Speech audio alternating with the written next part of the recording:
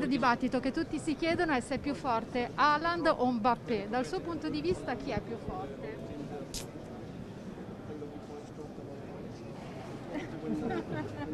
Scegli quello che tu vuoi, è magnifico, qualsiasi dei due.